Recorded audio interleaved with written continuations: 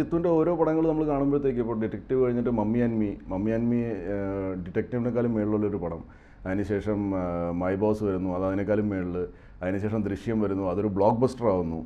അപ്പോൾ അങ്ങനെ ഓരോ ഓരോ പടങ്ങൾ വരുംതോറും ജീത്തു ജോസഫ് എന്ന് പറഞ്ഞ റൈറ്റർ ഡയറക്ടർ ഒരു വളർച്ച നമുക്ക് വളരെ വളരെയധികം നമുക്ക് എവിഡന്റ് ആയിട്ട് ഫീൽ ചെയ്യാൻ പറ്റുമായിരുന്നു. ഞാൻ ഓർക്കുമായിരുന്നു ജീത്തു ഒരു പടത്തിൽ പോലും എന്നെ കാസ്റ്റ് ചെയ്യുന്നില്ലല്ലോ. ഞാൻ പല പടങ്ങളും കാണുമ്പോഴത്തേക്ക് അതിനകത്ത് എനിക്ക് പറ്റിയ ചെറുതും വലുതുമായിട്ടൊക്കെ ഉള്ള കഥാപാത്രങ്ങളുണ്ട്. അപ്പോൾ ചെറുതായാലും ശരി ഏതെങ്കിലും ഒരു സിനിമയിൽ അഭിനയിക്കാൻ പറ്റിയിരുന്നെങ്കിലൊക്കെ ഞാൻ വിചാരിച്ചിരുന്നു. അറ്റ് ലാസ്റ്റ് അങ്ങനെ ജീത്തുവിന്റെ പടത്തിൽ നിന്നൊരു കോൾ വന്നു. അത് ഒരു വലിയ എന്റെ ജീവിതത്തിലൊരു വലിയ സംഭവം തന്നെയാണ്. ഒരു വലിയൊരു മികച്ച ഫിലിം മേക്കറിന്റെ പടത്തിൽ നിന്ന് അദ്ദേഹം തന്നെ എന്നെ വിളിക്കുന്നു. അദ്ദേഹത്തിനെ പോയി ഞാൻ കാണുന്നു. അദ്ദേഹം കഥയും കഥാപാത്രങ്ങളൊക്കെ വളരെ ഡീറ്റെയിൽ ആയിട്ട് എക്സ്പ്ലെയിൻ ചെയ്യുന്നു സ്ക്രിപ്റ്റ് അയച്ചു തരുന്നു അത് വായിച്ച് സ്ക്രിപ്റ്റിലും നമ്മൾ ഭയങ്കരമായിട്ട് ഇമ്പ്രസ്ഡ് ആയി. ഓൾറെഡി സ്റ്റോറി കേട്ട് നമ്മൾ ഇമ്പ്രസ്ഡ് ആയിരുന്നു അപ്പോൾ സ്ക്രിപ്റ്റും വളരെ ടൈറ്റ് ആയിട്ടുള്ളൊരു സ്ക്രിപ്റ്റാണ് കൃഷ്ണകുമാർ എന്ന് പറഞ്ഞ ഒരു ഡെബ്യൂറ്റന്റ് ആണ് ഇതിന്റെ സ്ക്രിപ്റ്റ് എഴുതുന്നത്. അപ്പോൾ സാറിന്റെ ഒരു മൂവിയിൽ ഞാൻ വർക്ക് ചെയ്തിട്ടുണ്ട് ആദി എന്ന് പറഞ്ഞിട്ട്. അപ്പോൾ എന്തായാലും എനിക്ക് അദ്ദേഹത്തിന്റെ മൂവീസ് ഇഷ്ടമാണ്. പിന്നെ ദൃശ്യമൊക്കെ ആൾക്കാരുടെ ഇടയിൽ ഉണ്ടാക്കിയ ഇമ്പാക്റ്റ് എന്താണെന്നുള്ളത് നമുക്കറിയാം. അപ്പോൾ എന്തുകൊണ്ടും ജിത്തു സാറിന്റെ മൂവിയിൽ വർക്ക് ചെയ്യുക എന്നുള്ളത് ഭയങ്കര ഇഷ്ടമുള്ള കാര്യമാണ്.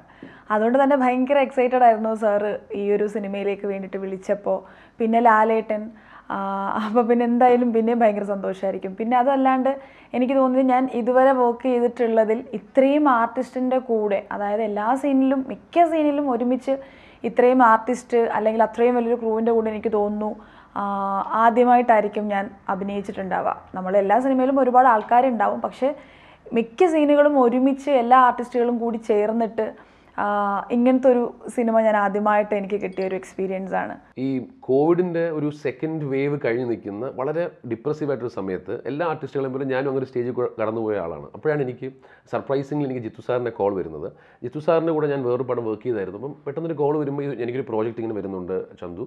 ഇത് എഗെയിൻ വിത്ത് മോഹൻലാൽ എന്ന് പറഞ്ഞു. അപ്പോൾ ലാലാട്ടിനോട് രണ്ടാമത്തെ മൂവി അതിന്റെ excitement then he said it is with Aashirvad again അപ്പോൾ it is a whole package അപ്പോൾ ആ എക്സൈറ്റ്മെന്റ് എനിക്ക് എന്നെ സംബന്ധിച്ചിടത്തോളം പേഴ്സണലി ഒരു ഡിപ്രഷനിൽ നിന്ന് എനിക്ക് ഭയങ്കരമായിട്ടൊരു എലിവേഷൻ കിട്ടിയ ഒരു കോളാണത് സാർ തന്നെയാണ് എന്റെ ഫോണിൽ കൂടെ എനിക്ക് അതിന്റെ ഒരു സിനോപ്സ് പറഞ്ഞിരുന്നത്. അപ്പം തന്നെ ഐ വാസ് എക്സൈറ്റഡ് അപ്പോൾ ഇത്ര ആർട്ടിസ്റ്റ് ഉണ്ടെന്ന് മാത്രമല്ല അതിനകത്തൊരു ഭാഗമാകാൻ പറ്റുമെന്നുള്ളത് വലിയ കാര്യമായിട്ട് എനിക്ക് ഫീൽ ചെയ്തു. അപ്പോൾ very I was very thankful to Jeethu sir for calling me narrating അപ്പോൾ എന്നോട് ചോദിച്ചു ഇങ്ങനെ ഡേറ്റ് ഒക്കെ ഓക്കെ ആണ്? ലൈക്ക് ഫുള്ളി ഓക്കെ നമുക്കതിൽ വർക്ക് ചെയ്യാം സാർ എന്ന് പറഞ്ഞു. അങ്ങനെയാണ് ഞാൻ ട്വൽത്ത് മാനിലേക്ക് എത്തുന്നത്. ജിത്തു സാറിന്റെ കോളാണ് ആദ്യമായിട്ട് വന്നത്. അപ്പോൾ സാർ ഇതിനു മുമ്പ് സാറുമായിട്ട് ഒന്ന് വർക്ക് ചെയ്തിട്ടുണ്ട്. ഞങ്ങൾ ഞങ്ങൾ ലക്ഷ്യം മൂവിയിൽ വെച്ചിട്ട് സാറിന്റെ കൂടെ വർക്ക് ചെയ്തിട്ടുണ്ട്. അപ്പോൾ വിളിച്ചപ്പോൾ ഞാൻ എനിക്ക് അറ്റൻഡ് ചെയ്യാൻ പറ്റിയില്ല കോൾ അച്ഛനാണ് എടുത്തത്. അപ്പോൾ പറഞ്ഞു ജിത്തു ജോസഫാണ്. അപ്പോൾ അച്ഛൻ ആക്ച്വലി പെട്ടെന്ന് മനസ്സിലായില്ല കേട്ടോ. എന്റെ അടുത്ത് പറഞ്ഞു ജിത്തു ജോസഫ് വിളിച്ചിരുന്നു. അപ്പോൾ ഞാനൊന്ന് ഞെട്ടിപ്പോയി. കാരണം ഞാൻ തിരിച്ചെന്നൊരു സാറിനെ വിളിച്ചു. സാറിനെ വിളിച്ചപ്പോൾ എന്നോട് പറഞ്ഞു ശിവദ നമുക്കൊരു കൊച്ചു പടമുണ്ട്. ഒരു കൊച്ചു പടമാണ്. കാരണം അത് ട്വന്റി എയ്റ്റ് തേർട്ടി ഡേയ്സിനുള്ളിൽ നമ്മൾ തീർക്കും. ഇപ്പോൾ ഈ കൊറോണയുടെ ടൈമിലാണ് അപ്പോൾ പടയെന്ന് പറഞ്ഞ് തീരും. പക്ഷേ ഇതൊരു വലിയ പടം കൂടിയാണ്. കാരണം ഇതിന്റെ ലാലേട്ടനുണ്ട്. ആശീർവാദ് സിനിമാസാണ് എന്ന് പറഞ്ഞപ്പോൾ ഭയങ്കര എക്സൈറ്റഡ് ആയിരുന്നു സത്യം പറഞ്ഞു. കഴിഞ്ഞാൽ ഭയങ്കര സന്തോഷമായിരുന്നു. ഞാൻ പറഞ്ഞു ഡേറ്റ്സ് ഉണ്ടാവുമോ എന്ന് ചോദിച്ചു. ഞാൻ പറഞ്ഞു സാർ പിന്നെ കുഴപ്പമൊന്നുമില്ല എനിക്ക് വർക്ക് ചെയ്യാൻ. കാരണം ഈ ഒരു നല്ലൊരു ടീമിന്റെ കൂടെ വർക്ക് ചെയ്യാന്ന് പറഞ്ഞാൽ എനിക്ക് തോന്നുന്നു ഇങ്ങനെ വളർന്നു വരുന്ന എന്നെ പോലെ ആർട്ടിസ്റ്റിന് എപ്പോഴും ഒരു ഒരു സന്തോഷം തരുന്ന ഒരു കാര്യമാണ് ഈ ഒരു വലിയൊരു ടീമിന്റെ കൂടെ വർക്ക് ചെയ്യുക എന്ന് പറയുന്നത്. പിന്നെ സ്ക്രിപ്റ്റ് ഞാൻ കേട്ടു. സാറ് അത് ആക്ച്വലി എന്റെ ക്യാരക്ടർ മാത്രം ജസ്റ്റ് ഒന്ന് നറേറ്റ് ചെയ്തു. അത് കഴിഞ്ഞ് സ്ക്രിപ്റ്റ് വായിച്ചു. വായിച്ചു കഴിഞ്ഞാൽ പിന്നെ ഡെഫിനറ്റ്ലി നോ എന്ന് പറയാൻ ഒരു റീസൺ പോലും ഉണ്ടായില്ല എന്നുള്ളതാണ്. അപ്പോൾ I was a part of twelfth man ലാലേട്ടന്റെ സിനിമയിൽ എത്ര സിനിമയിൽ അഭിനയിച്ചിട്ടുണ്ടെന്ന് എനിക്ക് കൃത്യം എണ്ണം അറിയില്ല. എന്തായാലും പത്ത് മുപ്പത് നാൽപ്പത് സിനിമകൾ കാണുമായിരിക്കും.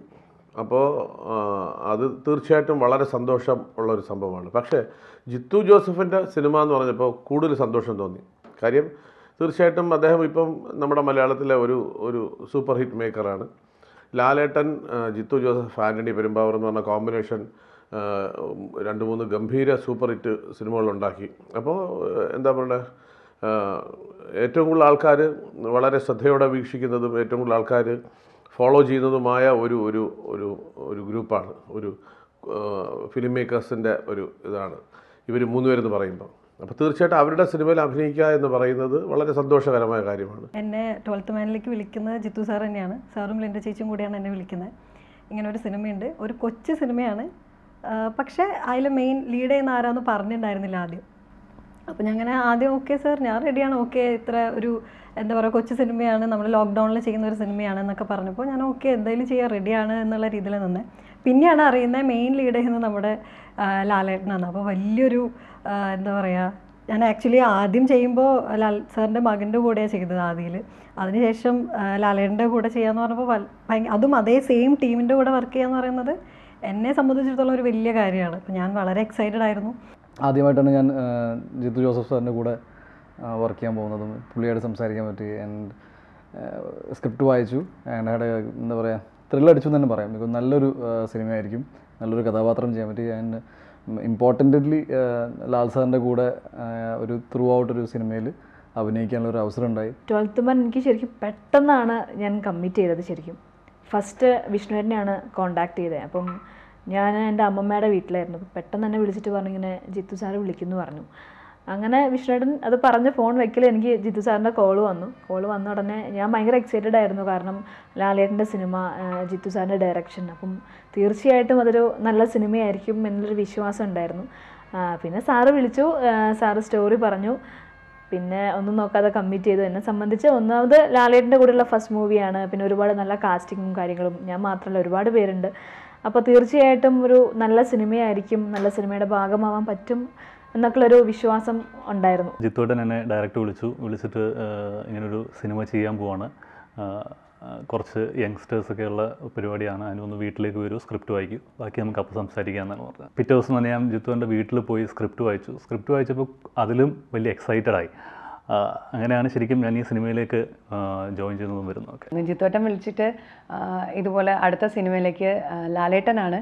അപ്പോൾ അതിൽ വളരെ പ്രധാനപ്പെട്ട ഒരു കഥാപാത്രമാണ് അതിന്റെ കഥാപാത്രത്തിന്റെ ഒരു സ്വഭാവം ഇതാണ്. അതിന്റെ രീതികൾ ഇതാണെന്നൊക്കെ പറഞ്ഞപ്പോൾ ഞാൻ വളരെ എക്സൈറ്റഡ് ആയി. ഒന്ന് ഒരുപാട് ഒരുപാട് നാളായിട്ട് ഞാൻ കാത്തിരിക്കുന്നുണ്ടായിരുന്നു. ജിത്തുവേട്ടന്റെ കൂടെ ഒരു പടം ചെയ്യാൻ വേണ്ടിയിട്ട്. വളരെ ആഗ്രഹമായിരുന്നു.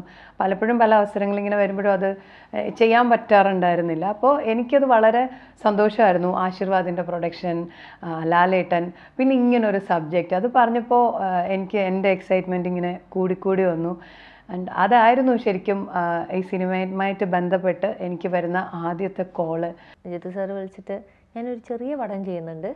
അത് വലിയ പടമാക്കുന്നത് അത് ലാലേട്ടൻ അഭിനയിക്കുന്നു എന്നുള്ളത് കൊണ്ടാണ്. അതിലൊരു ക്യാരക്ടർ ചെയ്യാൻ എനിക്ക് താല്പര്യമുണ്ടോ എന്ന് ചോദിച്ചു. അപ്പം ഞാനിങ്ങനെ ചിത്തു സാർ താല്പര്യമുണ്ടോ എന്ന് ചോദിക്കേണ്ട ആവശ്യമുണ്ടോ? എന്തായാലും താല്പര്യമുണ്ടെന്ന് പറഞ്ഞു. എന്നാൽ പിന്നെ നേരെ വീട്ടിലേക്ക് വന്നോ. സ്ക്രിപ്റ്റ് ഉണ്ട്. സ്ക്രിപ്റ്റ് മൊത്തം വായിച്ചിട്ട് രണ്ട് ക്യാരക്ടേഴ്സാണ് എന്റെ മനസ്സിലുള്ളത്. അതിലേത് വേണമെന്ന് നമുക്ക് തീരുമാനിക്കാമെന്ന് പറഞ്ഞു. അങ്ങനെയായിരുന്നു തുടക്കം. സാറേ ആ വ്യൂ പോയിന്റിലെ പാറയിൽ ഒരാൾ വീട് കിടപ്പുണ്ട്.